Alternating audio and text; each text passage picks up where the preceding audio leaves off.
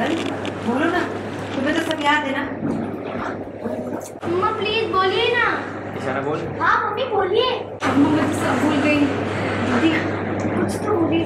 जो आपके मन में हो। क्या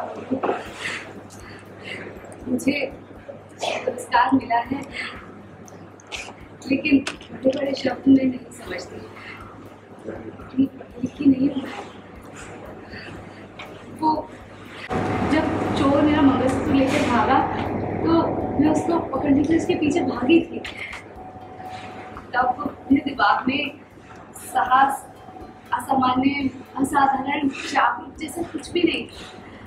मुझे तो बस तेरा मंगलसूत्र चाहिए था। किसी भी कीमत का चाहिए था?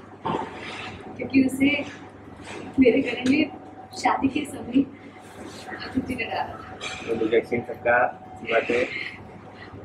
और अम्मा ने मुझसे कहा था कि अब से तुमको ये नई ज़िम्मेदारी निभानी है।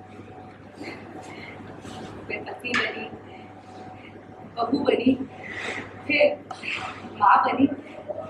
हर कदम पर अम्मा मुझे सिखाती रही कि एक औरत को शादी के बाद सारे रिश्तों की ज़िम्मेदारी निभानी होती है। अम्मा से बढ़कर मेरे लिए कोई शिक्षक नहीं है।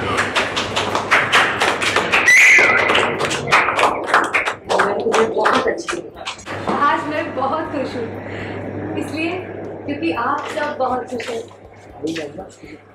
आप सब मुझे इतना प्यार करते हैं। यही मेरे सबसे गर्व की बात है।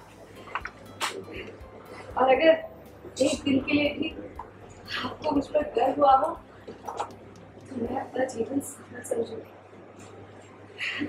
आज तो मंगलसूत्र के साथ मुझे मेडल भी मिल गया।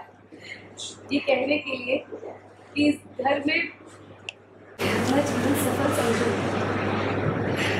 आज तो मंगलसूत्र के साथ मुझे ये मेडल भी मिल गया है। ये कहने के लिए कि इस घर में जो मेरी दुनिया सिमटी हुई है असल में वो बहुत बड़ी है। मेरा घर संभला रहेगा मेरा घर संभला रहेगा। तो बाहर भी मैं संभल पाऊँगी। पता नहीं मैं क्या बोल रही हूँ। मेरे लिए सबसे बड़ा पुरस्कार तो आप सब हैं। मेरे सास ससुर मेरे बच्चे संतुष्ट रहे।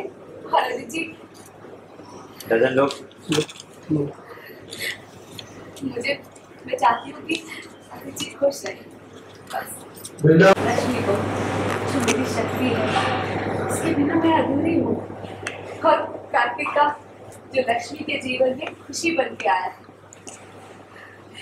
बस इतना काफ़ी है ना?